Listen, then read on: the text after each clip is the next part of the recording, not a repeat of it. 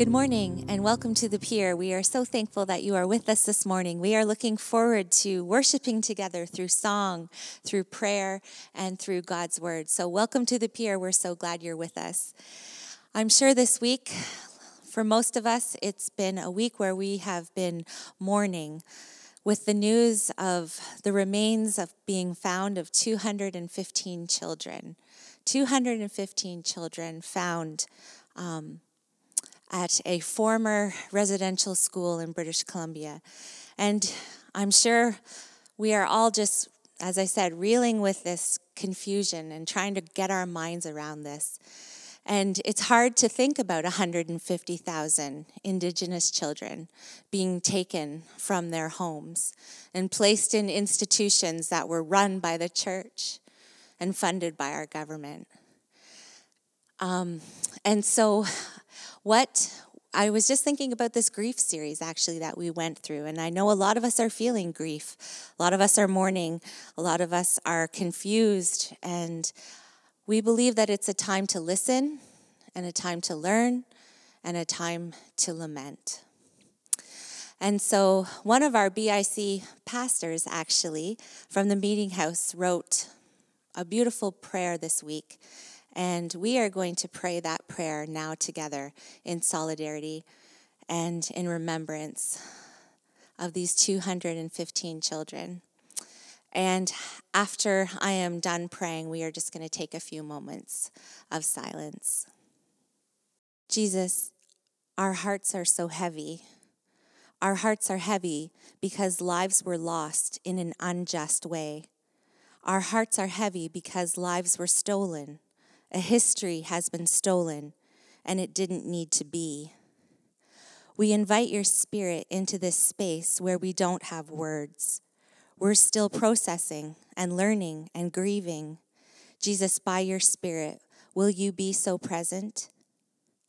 Be a presence of peace for our, for our Indigenous friends, neighbors, and family.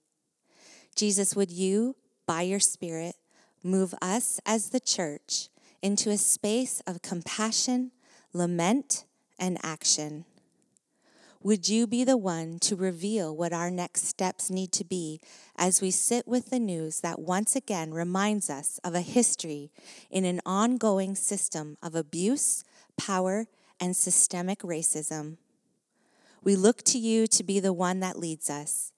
Hear our hearts cry, that we long for it to be here on earth as it is in heaven.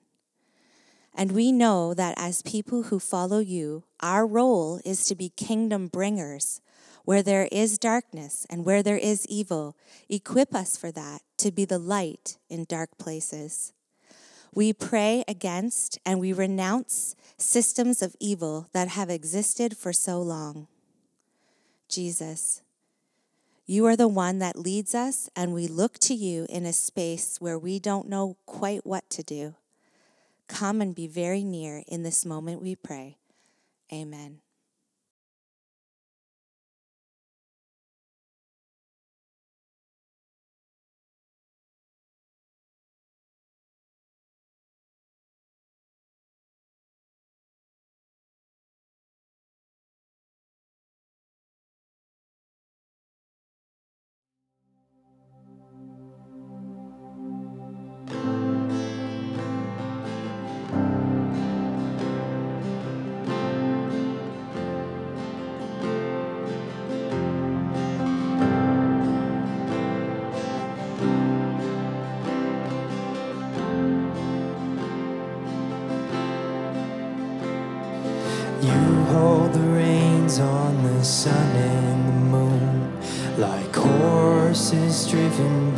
Kings. You cover the mountains, the valleys below, with the breath of your mighty wings. All treasures of wisdom and things to be known are hidden inside of your hand. And in this fortunate turn of events, you ask me to be your friend. You ask me to be your friend.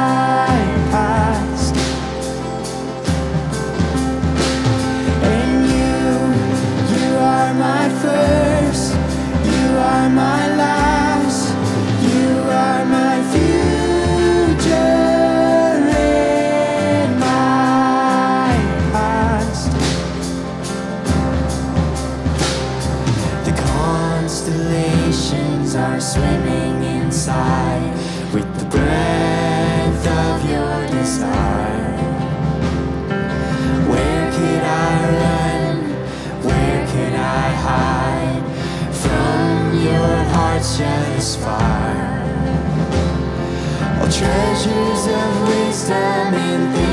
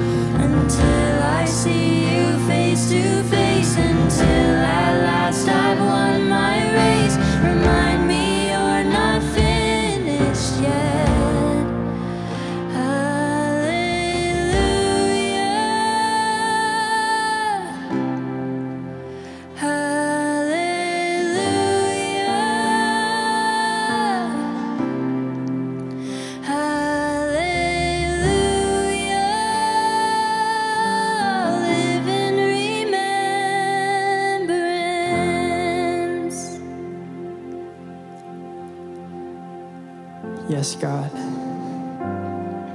We live in remembrance of all that you've done in our lives, whether the we've gone through good times, bad times, ugly times, God. You have always been constant. Your words have always stayed true. Your love has always lasted. And so, God, I pray that as we go to hear from your words, your true words, your loving words, God. That our hearts will be open, our minds will be receptive, God, and, and we will remember what you've done in our lives. Pray this in the mighty and the powerful name of Jesus. Amen.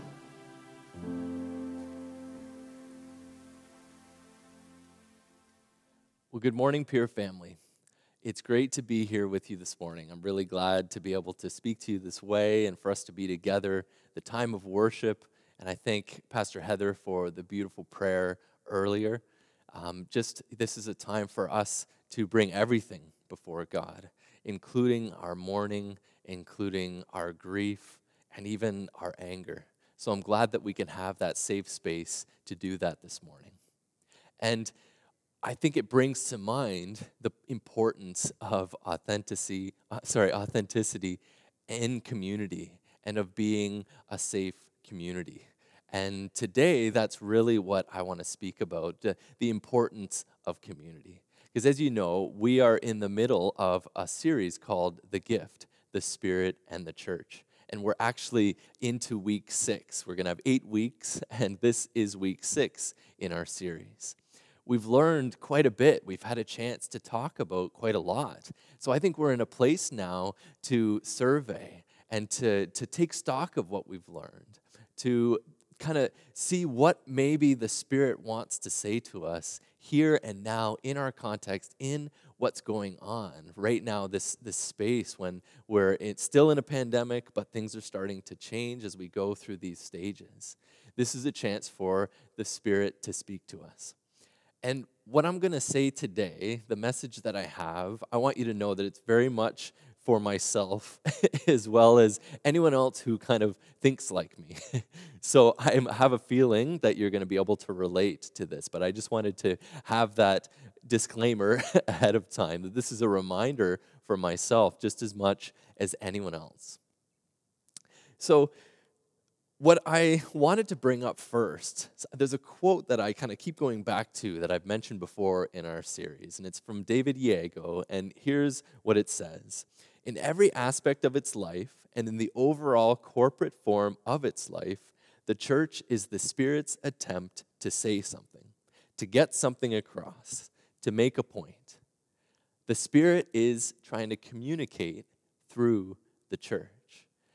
And if the communi- if the spirit's trying to communicate then that's important for us to realize. And i think that means that we probably have a bit of work to do in some areas and one area that i want to talk about today would be in the area of how we envision or imagine or understand ourselves in relation to community.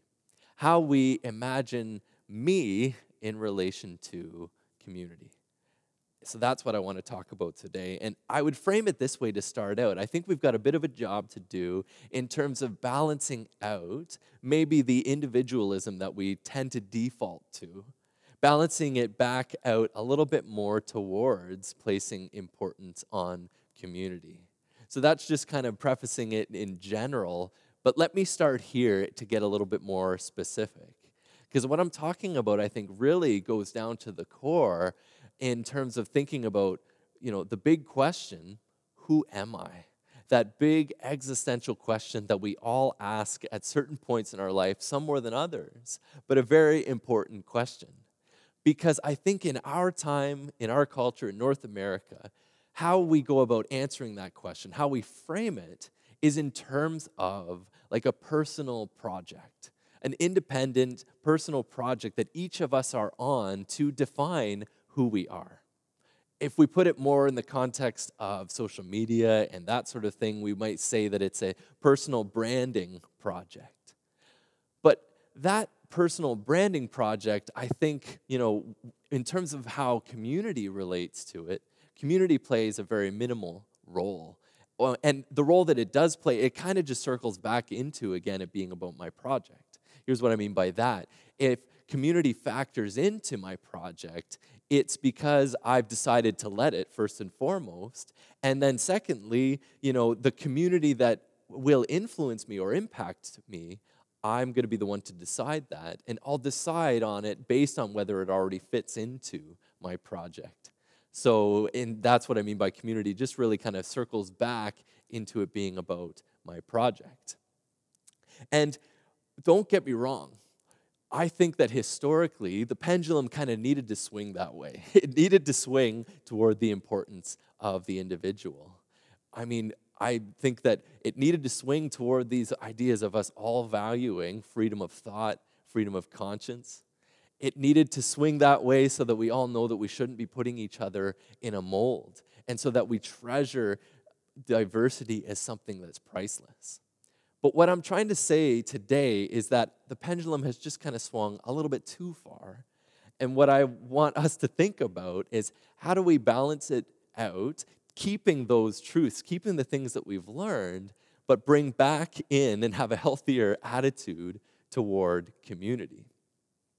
And I know that this isn't a like extreme thing, a black and white thing, where as if, you know, we're all in one category, we're hyper individualistic or anything like that. And I know for us, who, you know, those who are watching, it wouldn't be that way.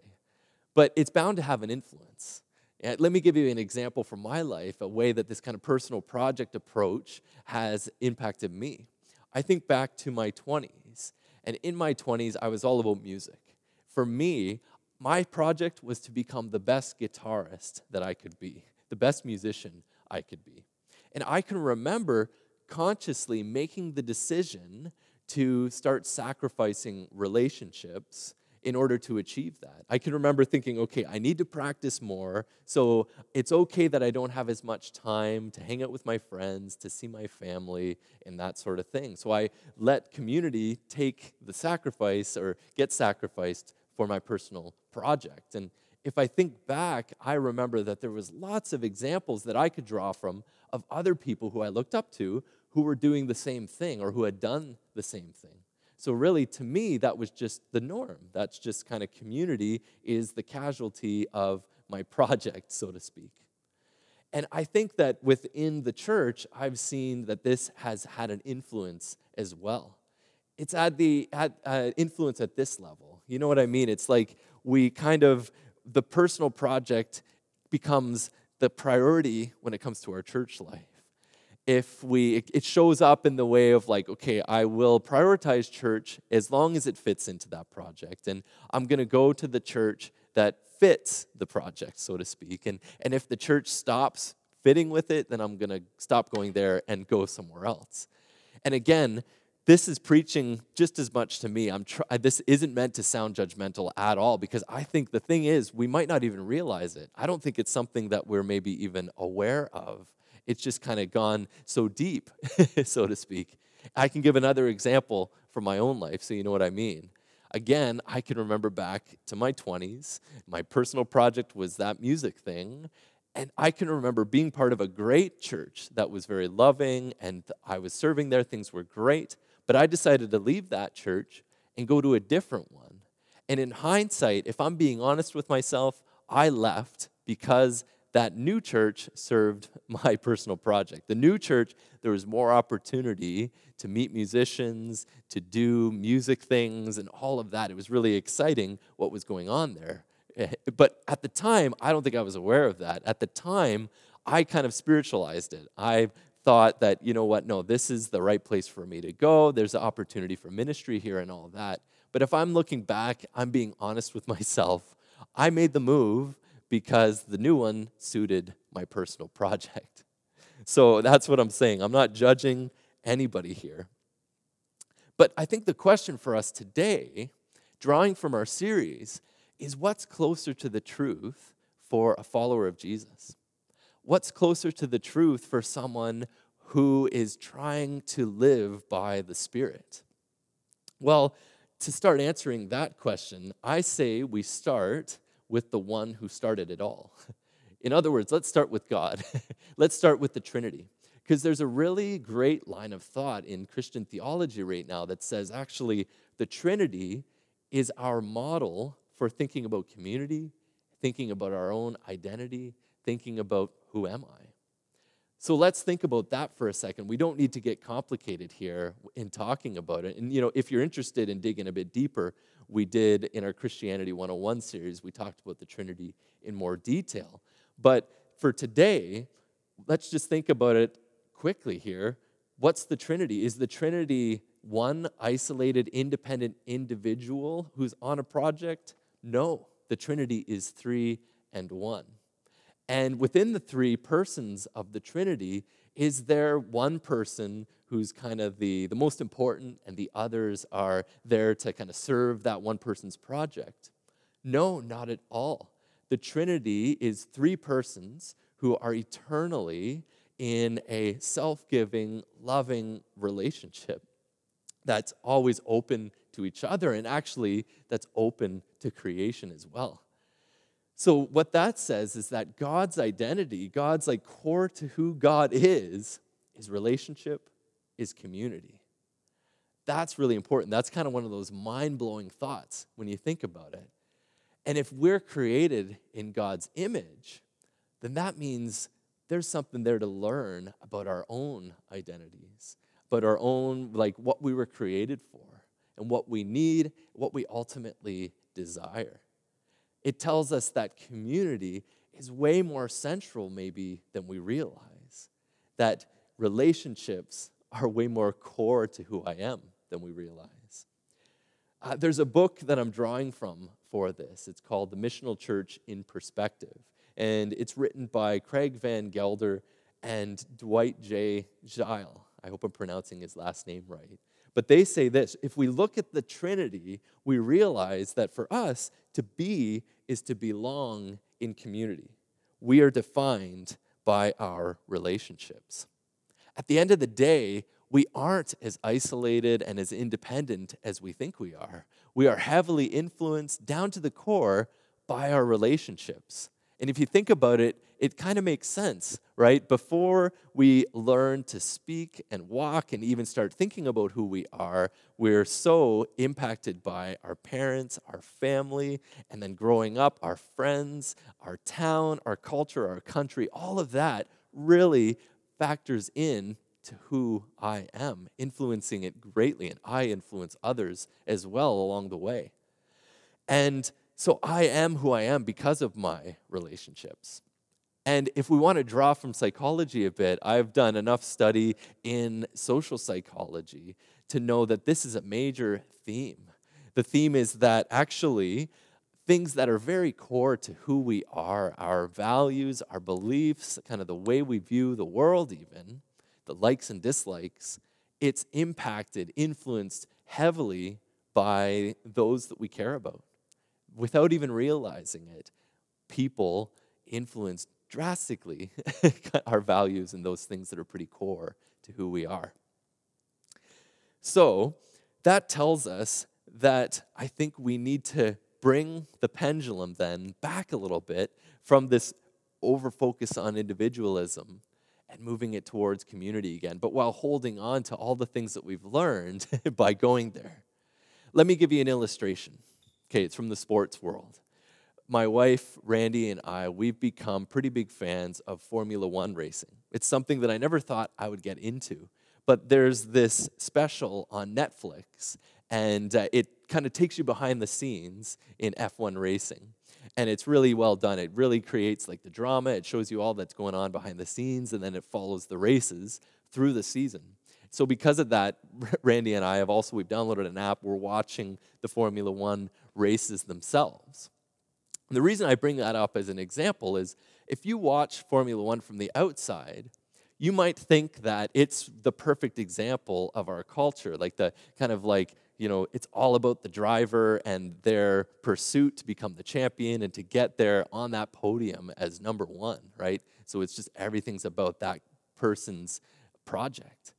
But actually, what we learned, what we found so fascinating, is that it is an extreme team sport, actually, where so many people come together to make that happen. And actually, the driver is almost the most expendable. If the driver starts to not do well, then they quickly get shuffled around to find a better driver.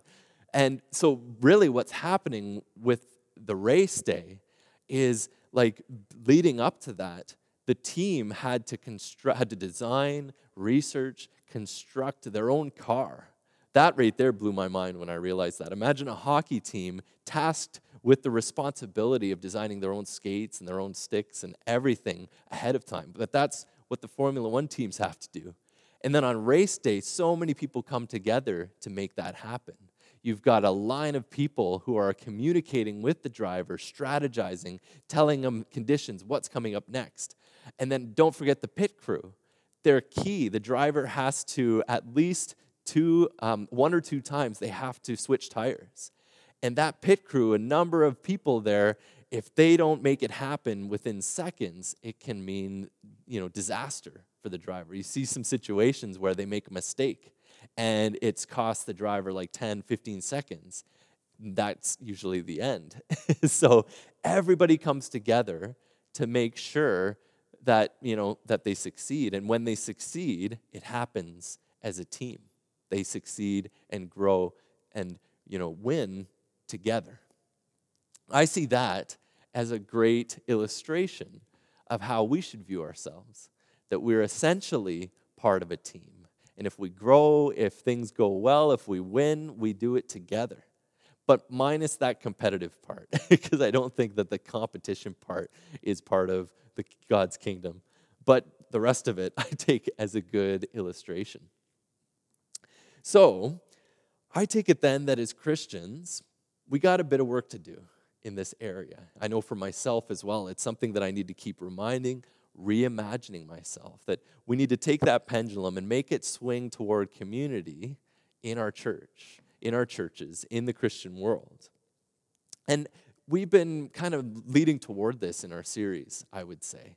Especially if we think back to that week when we were picturing the church together.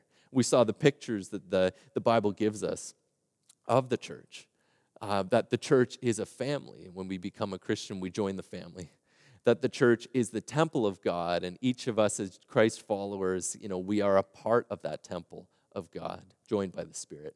And we saw that it's also the body of Christ, and each follower of Jesus forms a part, makes a part of that body.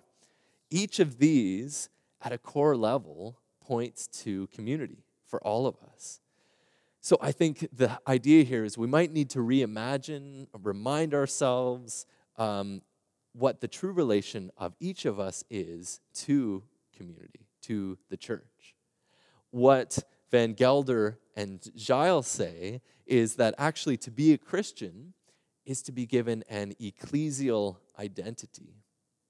And that word ecclesia there simply means congregation or assembly. In other words, to be a Christian is to be given a congregation identity. Who I am now, it's, it's kind of changed. I'm now part of a group, I'm now part of a local congregation. And now who I am and kind of who I'm becoming is wrapped up in that congregation. People are meant to really impact me through the power of the Spirit, all centered around Jesus. I've got a church identity, so to speak. Now, this might be sounding scary to some, it might be exciting to some. I get that. We're going to come back to that in a little while. But here's what Paul says about this. He says in Romans 12, 4 to 5, For just as each of us has one body with many members, and these members do not all have the same function, so in Christ we, though many, form one body, and each member belongs to all the others. That part is so important to me. Becoming a Christian, things have changed. I'm not, I shouldn't think of myself as independent, as isolated. I now belong, we belong to one another. We are all kind of together in this. It's togetherness over kind of singleness, so to speak. Community over kind of thinking of myself as, like I said, isolated, independent. And I like the way, I want to read the message translation of this. It puts it really vividly for us. It says, We are like the various parts of a human body. Each part gets it, its meaning from the body as a whole, not the other way around. That's powerful when you think about it, because we often think of ourselves as like, okay, I'm developing my own meaning, and then I'm going to bring that to the group, and we're going to kind of put those together. But this is saying it's the other way around that I get my meaning from the group, from the community. And to go it goes on, the body we're talking about is Christ's body of chosen people. Each of us finds our meaning and function as a part of his body. But I like this part. As a chopped off finger or a cut off toe, we wouldn't amount to much, would we? This is pointing at this idea that now the church, the body of Christ, it's essential to who I am at a deep level. I find meaning, identity in my relationship to Christ's body, the church. In other words, I'm kind of discovering now the project is different. I'm discovering who I am in the context of relationship, of the congregation, of community. As I serve and love others, and as others love me and, and speak into my life, I'm discovering now who I am, my new identity in Christ. Maybe a better way of putting it is we are all together discovering our community identity together in Christ through the Spirit. Now, again, that might be scary for some. it might be exhilarating, but it's actually Jesus' prayer for all of us. In John 17, 21 to 23, Jesus prays these words. I am not praying only on behalf of the, his current disciples, but also on behalf of those who believe in me through their testimony, that they will all be one, just as you, Father, are in me and I am in you. I pray that they will be in us so that the world will believe that you sent me. That's just reading 21. I invite you to read the rest of it there as well, where he goes on. But you see there, that prayer is for oneness, that prayer is for community, that we would have a kind of community with each other that resembles the Trinity. That we are in that kind of relationship with the Trinity and with each other through the Spirit. Now, the interesting thing about this, just one more point before we conclude. Did you notice how at the end of it there, he's adding something? He's adding kind of the purpose of this. He says that he prays that we would be one, just like he and his Father are one, so that the world will believe you sent me, he says. Our oneness, our community, identity, all of that stuff is meant to say something.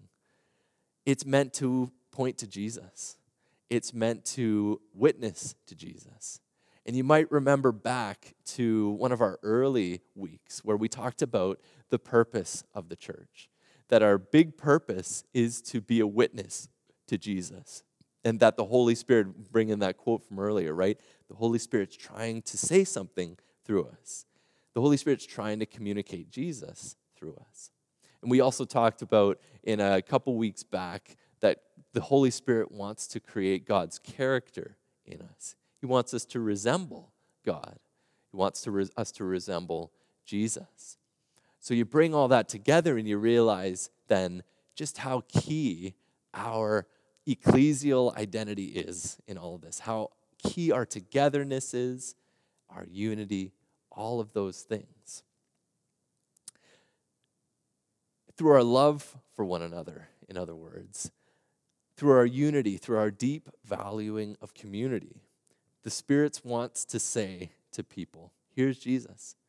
And also beyond that, the Spirit wants to communicate God's desire for all people, that, that all people would be part of His community and in communion with Him. So at the end of the day, we're talking about living out the gospel message. That's pretty powerful stuff. But that's the project, so to speak. When we talk about our personal project, that's my personal project, but it's tied into the community it's tied into the community project. It's all kind of coming together. Okay, so I'm going to finish off with that. And I wonder where you're at now as I've said all these things.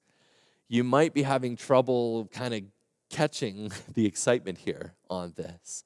Maybe this will help. If I think back through my life and I think about the times when I've felt most alive, most like myself, I realize it's when I was in a community that was functioning this way. Uh, a community where I really knew that I belonged, a community where people loved me and I loved them, a community that God and Jesus were really at the center. So I've kind of found this to be true in my own life as well. But this may still trigger a lot of fear, for example. Because let's face it, community can be this amazing thing, but it can also be the source of deep hurt and pain. And I've been there. I know what it's like to be hurt by a community as well, or those within a community. And here's the thing there's a principle that I've learned. I can't, I'm not sure exactly where I've learned. I think it was from Plato, but I'm not sure. I can't remember back. But it's this that the most powerful things in life have the potential for great good, but also great pain, great hurt. I mean, take a simple example Superman, right? He is extremely strong, nearly indestructible. Used for good, he is amazing. He does incredible things if you watch the movies and all of that, right? But you can imagine if he turned bad, it would be a nightmare. Well, the same is true of relationships, the same is true of community. They can be extremely life giving, or they can be very hurtful and life draining. But I think that that's why it's important to talk about this today, to reimagine ourselves in light of community, in relation to community. Because if we kind of catch this vision, we kind of realize how core it is and how much that's God's desire for us, then when we're hurt by community, when we're hurt by someone in community, it helps for us to have maybe a different um, reaction to it, so to speak. You know, where we realize, okay, but the goal is still togetherness, the goal is still the community. The goal is reconciliation, it's restoration, forgiveness, rather than kind of splintering off, segregating off, and dividing and all of that. Now, I'm realizing as I'm saying this, right there, I think would be a good idea to have like a full out peer group discussion on it, maybe even another sermon, because we're not trying to oversimplify here. If you've been hurt by someone, this isn't about sweeping it under the rug, because good community, a Christ centered community, doesn't just sweep problems under the rug. The Christ centered community is all about sticking up for the vulnerable, sticking up for and you know preventing and fighting against injustice and it's all about you know loving and really bringing out the best for all of us. So we're not saying that here. It's just more this helps us to have this this goal in mind knowing that for our part we want to do all that we can to work toward this ecclesial identity this togetherness this community mindedness and i bring this up today because i think about where we're at right now we're actually in a place where we can finally start to think about getting together again. If these phases go according to plan, then hopefully by the end of June into July, we at the pier will be able to have some outdoor services. And also, we'll be able to start seeing each other at parks, in our backyards, and those sorts of things. So I feel like this is a good time to remember and to, to reflect, maybe even reimagine ourselves in relation to community so that kind of we enter into this new time with that priority in mind, with that outlook in mind, with that understanding in mind. So, I think that that's key for us to hear today, right? I've said that we aren't at our core isolated, independent individuals on these separate projects. Actually, God's desire is that we are together on a project of discovering who we are in Christ in the Spirit, that we are all at a core level connected in that way. Our identity comes from each other. We belong and we are loved in that way. And God kind of wants the church to be leaders in that regard, to be a light in that regard. And I think about it, right? Online has been great and there's so much to it. But as we move into a time when we can be together, that's even better. To be together in person is even better. so let's prioritize, as we go into the summer, let's prioritize being together. Let's prioritize building into each other and loving each other. Okay.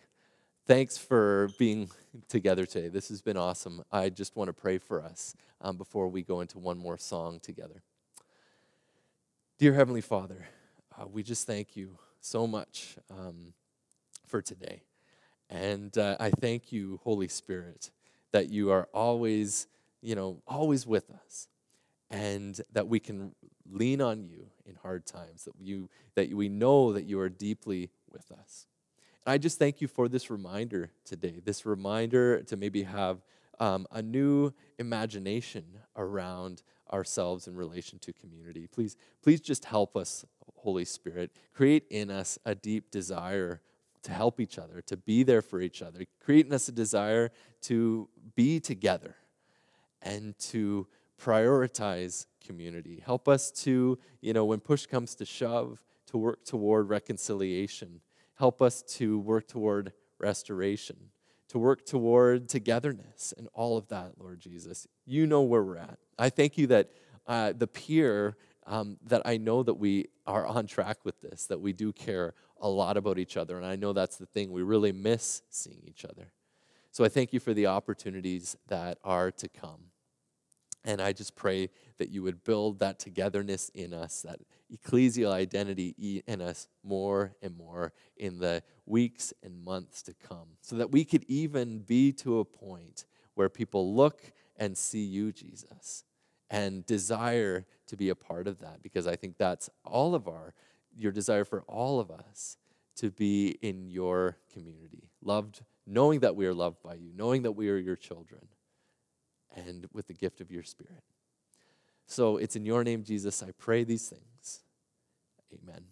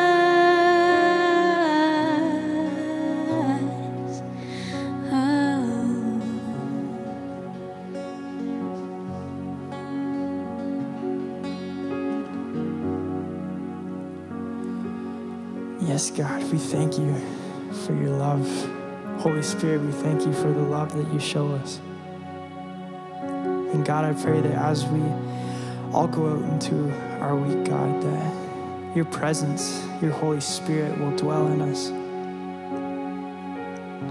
God, that your face will shine upon us. And you'll never stop showing us who you are, more of who you are, God. We pray this in the mighty name of Jesus. Amen. Amen, Pier family. Have an amazing week, and we will see you next Sunday.